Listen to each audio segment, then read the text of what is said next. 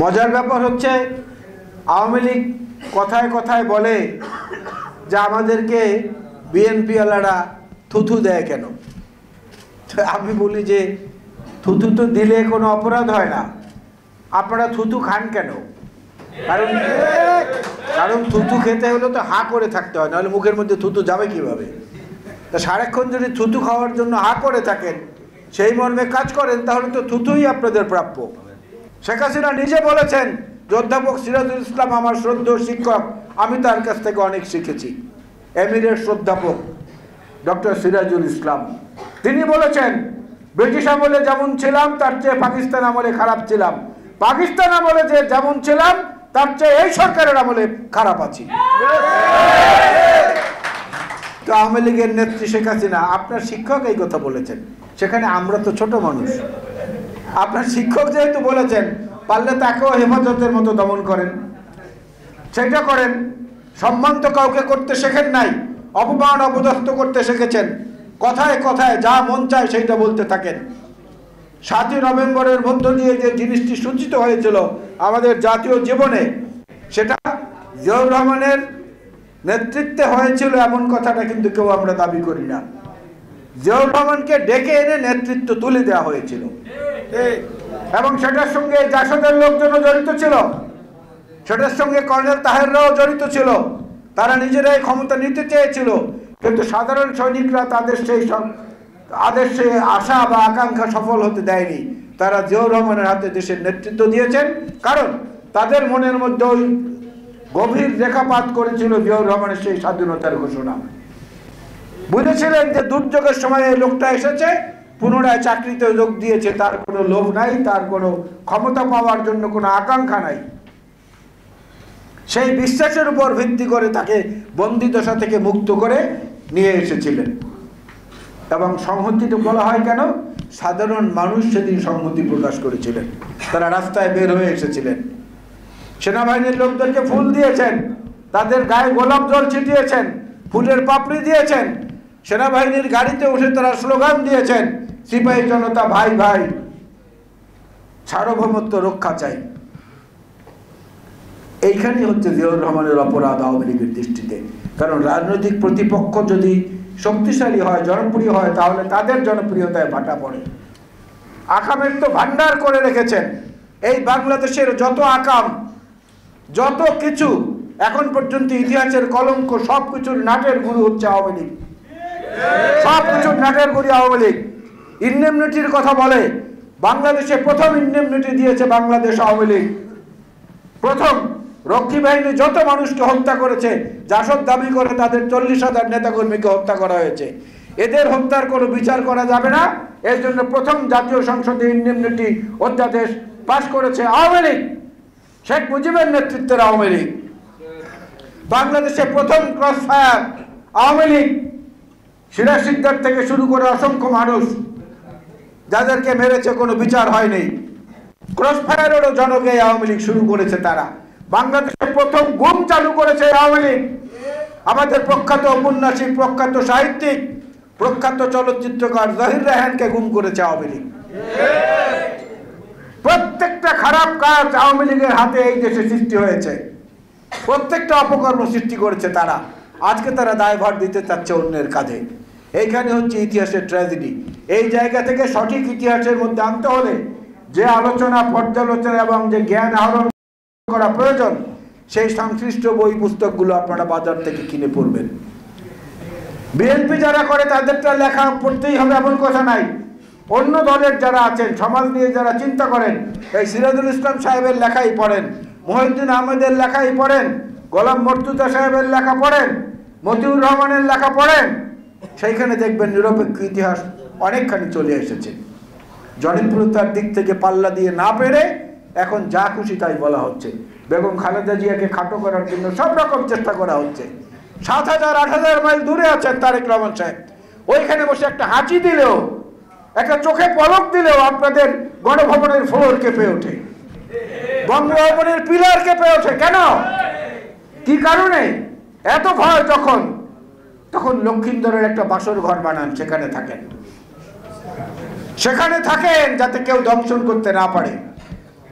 কিন্তু সেখানেও আপনারা নিরাপদ না, কারণ এত জীবন নিয়েছেন, এত মানুষের ক্ষতি করেছেন, এখনও মানুষকে যেভাবে নিষ্পেষণ করছেন, দ্রব্যমূল্যের চাপে, নিত্য নতুন চাঁদাবাজি, তোলাবাজির কারণে যেভাবে করেছেন, এর জবাব একদিন আপনাদেরকে দিতে হবে এবং সেদিন খুব বেশি দূরে নয়। সেই দিনে যাওয়ার জন্য যে অঙ্গীকার, যে প্রতিজ্ঞা এটা আমাদেরকে করতে হবে আমাদের নিজেদের দেশপ্রেমের তাগিদে। জিয়াউর রহমানের আদর্শের দিকে তাকিয়ে বেগম খালেদা জিয়ার আজকের এই নিপীড়ন নির্যাতনের প্রতিবাদ জানানোর জন্য সেটা করতে হবে। তারেক রহমানকে দেশে ফিরিয়ে আনার জন্য সেটা করতে হবে। তাহলে আমরা দেখব যে হ্যাঁ বিরোধী দল হিসেবে আওয়ামী লীগ থাকুক, আমরা এটা চাই, আমরা এই দলের ধ্বংস কামনা করি না। কিন্তু শুদ্ধ হয়ে আসতে হবে। অজু করে করতে হবে তবা করে করতে হবে, জাতির সামনে ক্ষমা চেয়ে। জাতির কাছে ক্ষমা চেয়ে তারপরে আওয়ামী লীগ নামক দলের রাজনীতি করতে হবে ভবিষ্যতে। জাতীয়তাবাদী কৃষক দলকে আমি ধন্যবাদ জানাই। জাতীয়তাবাদী মৎস্যজীবী দলকে দুঃখিত। মৎস্যজীবী দলকে আমি ধন্যবাদ জানাই। আজকের এই আলোচনা সভা আয়োজনের জন্য আপনারা এরকম আলোচনা সভা করে আরও যারা শিক্ষাবিদ আমাদের দলে আছেন, বিভিন্ন পেশার সিনিয়র যারা আছেন, তারা মুক্তিযুদ্ধ দেখেছেন, করেছেন, মুক্তিযুদ্ধে অংশ নিয়েছেন। তাদের ডেকে এনে আলোচনা করবেন তাহলে আমার মনে হয় ইতিহাসের যে মিথ্যাচারটা আওয়ামী লীগ করছে, সেই জায়গা থেকে মুক্ত করতে আপনারা আমরা সবাই এক একজন সাচ্চা জাতীয়তাবাদী সৈনিক হিসাবে কাজ করতে পারব। আপনাদের সবাইকে ধন্যবাদ। আল্লাহ হাফেজ।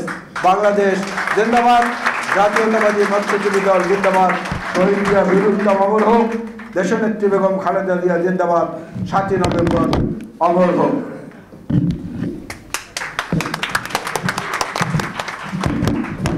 আপনারা এতক্ষণ অত্যন্ত জ্ঞান গর্ব বক্তব্য শুনলেন?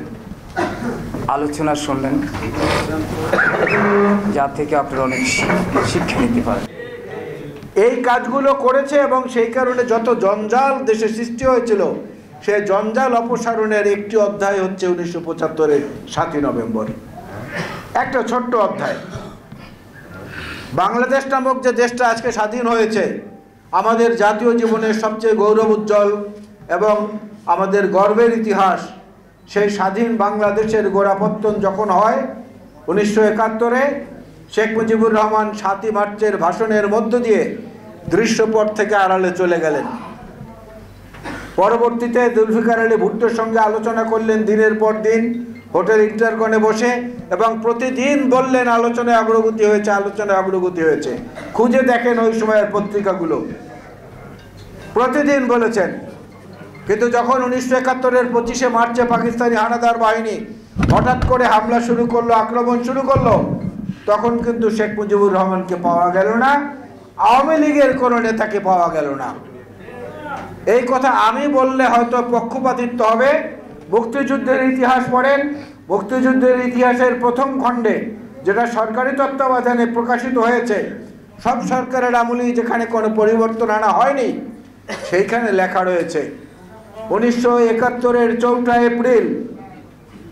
বর্তমানে হবিগঞ্জের মধ্যে পড়েছে তেলিয়াপাড়া চা বাগান। সেই তেলিয়াপাড়া চা বাগানে বাংলাদেশের সেনাবাহিনীর লোকেরা, ইপিআরের লোকেরা একত্রিত হয়ে সেখানে বসে যুদ্ধের একটা মাস্টার প্ল্যান তৈরি করেছিলেন। জেনারেল ওসমানী সেই সভায় সভাপতিত্ব করেছিলেন। Major Ziaur Rahman, major Shawkat Ali, major Khaled Musharraf major আপনার শফিউল্লাহ, এরা তখন উপস্থিত ছিলেন। এবং সেই সভায় যে রিজলিউশনটি লেখা হয়েছিল এখনও যদি কেউ যান, সিলেট সফরে যান, চা বাগান দেখতে যান, তেলিয়াপাড়া চা বাগানে গেলে মুক্তিযুদ্ধের সেই ইতিহাসের জাদুঘরটা দেখতে পাবেন। সেখান থেকে একটা বই নিয়ে নেবেন। বিশ বা পঁচিশ টাকা তখন দাম ছিল, এখন কত হয়েছে জানি না। সেখানটায় লেখা রয়েছে, উনিশশো একাত্তরের চৌঠা এপ্রিল। ওইখানে যে সভাটি হয়েছিল, জেনারেল ওসমানীর নেতৃত্বে তার সভাপতিত্বে সেখানে একটা প্রস্তাবনা ছিল যে আমাদের এই যুদ্ধের পরিকল্পনার যে ঘোষণা জিয়াউর রহমান সাহেব ইতিমধ্যেই করে দিয়েছেন, সেই ঘোষণার সঙ্গে জাতিকে এবং আন্তর্জাতিকভাবে মুক্তিকামী মানুষকে সম্পৃক্ত করার জন্যে রাজনৈতিক নেতৃত্বের প্রয়োজন রয়েছে। আমরা এখন থেকে আওয়ামী লীগের সহ অন্য রাজনৈতিক নেতাদের সঙ্গে যোগাযোগ স্থাপন শুরু করব। তার অর্থ কি? উনিশশো একাত্তরের সাতই মার্চ স্বাধীনতার ডাক দিলেন শেখ মুজিব। পঁচিশে মার্চ গ্রেফতার হয়ে গেলেন পাকিস্তানি সেনাবাহিনীর কাছে। ভাতা নিলেন তার পরিবারের লোকেরা। যুদ্ধ করল সেনাবাহিনী পিআর পুলিশের লোকেরা, বাংলাদেশের ছাত্র শ্রমিক, কৃষক জনতা। সেই চৌঠা এপ্রিলের দলিলেই বোঝা যায় যে ওই পর্যন্ত আওয়ামী লীগের কোনো নেতাকে খুঁজে পাওয়া যায়নি। যদিও আওয়ামী লীগ এখন হান্নান চাচা, মান্নান চাচা, কাকু ইত্যাদি অনেক কথাবার্তা বলে। এদের কাউকে সেদিন পাওয়া যায়নি। এটা হচ্ছে সব সরকারের আমলে স্বীকৃত যে দলিল, সেই দলিলের কথা আমি বলছি। তো জিয়াউর রহমান এসে ঘোষণার পরে এটাই ছিল প্রথম সংঘবদ্ধ প্রচেষ্টা। এরপরে বাংলাদেশগুলোকে বাংলাদেশে সেক্টরে ভাগ করা হলো। সেখানে প্রথম সেক্টর কমান্ডার সিরিয়াল নম্বর এক ছিলেন জিয়াউর রহমান। তারপরে তিনটা ফোর্স গঠন করা হলো, Z force, F force, S Z force, K force, S force. সেখানেও প্রথম ফোর্সেস কমান্ডার নিয়োজিত হয়েছিলেন শহীদ জিয়াউর রহমান বীর উত্তম। তিনি যখন হলেন, তার আড়াই মাস পরে হয়েছেন জেনারেল শফিউল্লাহ, তার তিন মাস পরে হয়েছেন খালেদ মুশারেফ সাহেব, কে ফোর্স এবং এস ফোর্স এই যে জিয়াউর রহমানের যে ওই সময় থেকে বাংলাদেশের মানুষের মনের মধ্যে অবস্থান করা, ভক্তি, সম্মান, শ্রদ্ধা আদায় করা, এইটা আওয়ামী লীগের কাছে অসহনীয় ছিল প্রথম থেকে। কারণ আওয়ামী লীগের বৈশিষ্ট্যটাই হচ্ছে কাজ করবে বাবুর্চি, বাজার করবে ঘরের কাজের লোক, উনি পকেটে হাত দেবেন না, কিন্তু খেতে বসবেন উনি সবার আগে। এইটা হচ্ছে আওয়ামী লীগের চরিত্রের বৈশিষ্ট্য, তাদের কোনো ত্রুটি তারা কখনো স্বীকার করবে না। এখনও দেখবেন, যা মন চাইবে, তাই বলা হয়, তাই ইচ্ছা করে বলে যায়, তাই বলে যায়।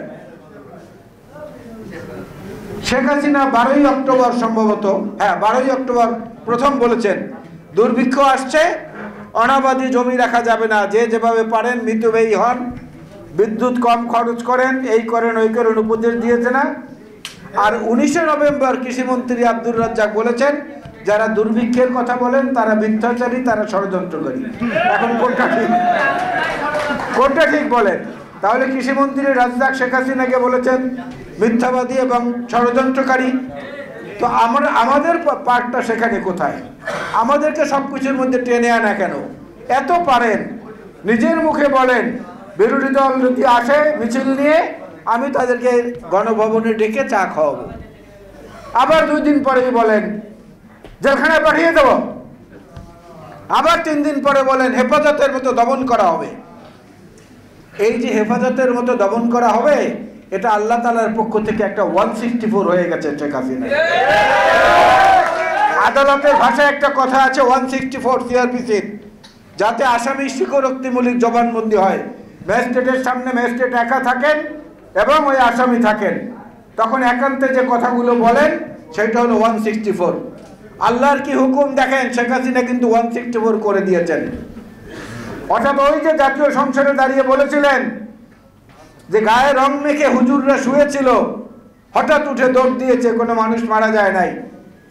সেই কথাটা নিজের মুখে স্বীকার করে নিলেন যে হেফাজতের মতো দমন করা হবে। অর্থাৎ হেফাজতের ওখানে মানুষ মরেছিল, গুলি করেছিল, দমন করেছিল। এইটা অবচেতন মনে আল্লাহ তালা মুখ থেকে বের করে দিয়েছেন। সুতরাং এইটা হচ্ছে ওয়ান সুতরাং এইটা হচ্ছে ওয়ান সিক্সটি ফোর। তো এত পারেন, বর্ষি দিয়ে চিতল মাছও ধরেন, সেইটারও আবার ছবি পাঠান। পারলে বর্ষি দিয়ে ইলিশ মাছ ধরেন তো। যদি পারেন বর্ষি দিয়ে এই মাছ ধরেন। ধরে দেখান।